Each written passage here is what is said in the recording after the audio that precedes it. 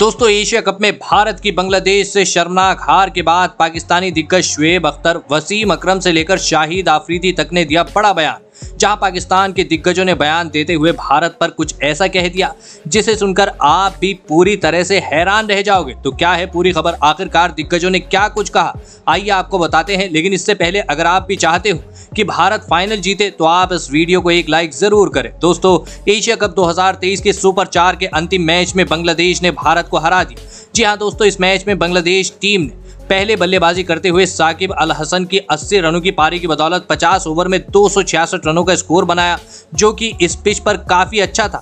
इसके अलावा भारत की टीम की ओर से लॉर्ड शार्दुल ठाकुर ने तीन और मोहम्मद शमी ने दो विकेट लिए, जिसके बाद में लक्ष्य का पीछा करते हुए भारत की बैटिंग लाइनअप फ्लॉप रही।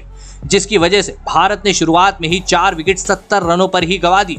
जिसके बाद गिल के अलावा कोई बल्लेबाज नहीं टिक पाया, जहाँ गिल और अक्षर ने ही सिर्फ़ भारत के लिए बैटिंग में अपना सौ प्रतिशत दिया। लेकिन फिर भी ये दोनों बल्लेबाज भारत को दो रन तक नहीं पहुँचा पाए और भारत ये मैच छह रन से हार गई जहाँ आपको बता दें कि गिल ने 121 और अक्षर पटेल ने 42 रन बनाए। लेकिन दोस्तों, अब भारत की इस हार पर पाकिस्तानी दिग्गजों का बड़ा बयान सामने आया है। तो दिग्गजों ने क्या कुछ कहा? आइए आपको बताते हैं।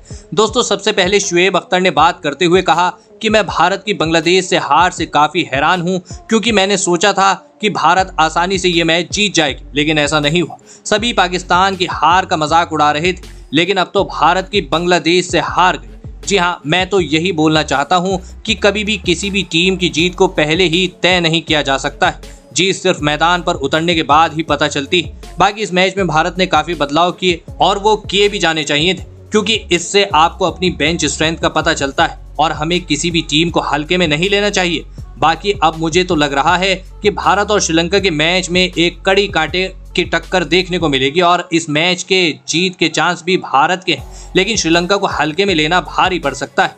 शुएब अख्तर के अलावा शाहिद आफरीदी ने बात करते हुए कहा कि भारत ने बांग्लादेश के खिलाफ मैच हारा है, जो कि भारत के लिए काफ़ी शर्म की बात है, क्योंकि भारत वर्ल्ड की टॉप की टीम में मानी जाती है। लेकिन इस मैच में तो भारत का प्रदर्शन काफ़ी खराब रहा। है हालाँकि इस मैच में ज़रूर भारत के बल्लेबाज फ्लॉप रहे, लेकिन जो बल्लेबाजी गिल ने की, उसने सभी का दिल जीत लिया। गिल ने बता दिया कि वो बड़े मुकाबलों के खिलाड़ी हैं और अब वो वर्ल्ड कप के लिए भी पूरी तरह से तैयार है। गिल भारत का आने वाला भविष्य है। तो ऐसे में आप मानकर चल सकते हो कि आने वाले समय में भारत की टीम कितनी मज़बूत होगी। इसके अलावा अक्षर पटेल ने भी काफ़ी बेहतरीन प्रदर्शन किया है।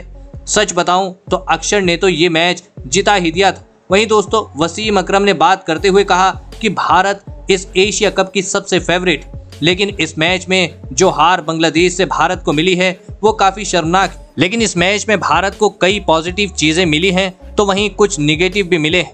बाकी जो फाइनल भारत और श्रीलंका के बीच में होगा, उसमें मेरे हिसाब से दोनों टीम के बीच कड़ी कांटे की टक्कर देखने को मिलने वाली। भारत की टीम हमेशा से ही अच्छा प्रदर्शन करती आ रही है।